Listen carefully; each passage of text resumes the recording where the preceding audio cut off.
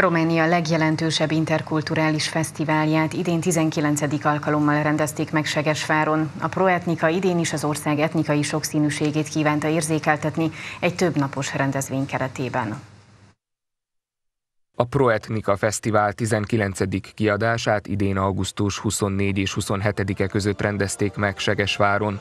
A programban a nemzeti kisebbségek szervezeteinek kulturális megnyilvánulásai kaptak helyet, nem csak folklórműsorok, de konferenciák, viták az etnikumról és a kultúrák közötti együttélésről, kerekasztal beszélgetések az etnikai irodalomról és kultúráról, kiállítások, illetve könyves standok révén is. Fesztiválul de fapt dorește să fie mai mult decât fesztivál valójában több akar lenni, mint egy egyszerű alkalom az együttlétre és a szórakozásra. A fesztivál a békét akarja erősíteni egy demokratikus és pluralista társadalomban. A nemzeti kisebbségeknek jogaik vannak, minden etnikai csoport román állampolgár, és Románia nem csak egy etnikai csoportból áll. Hozzátette, a Proetnika 2001 óta vált a kultúrák közötti párbeszéd védjegyévé Romániában és Európában.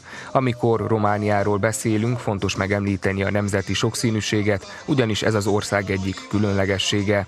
Jelenleg az ország 20 nemzeti kisebbséget tart számon, ebből 18 képviseltette magát a fesztiválon. Szerintem nagyon fontos, mert sikerül bemutassuk a táncainkat, tradícióinkat, tovább vigyük, lássák a fiatalabbak is, mit jelent örmény lenni, mondjuk úgy.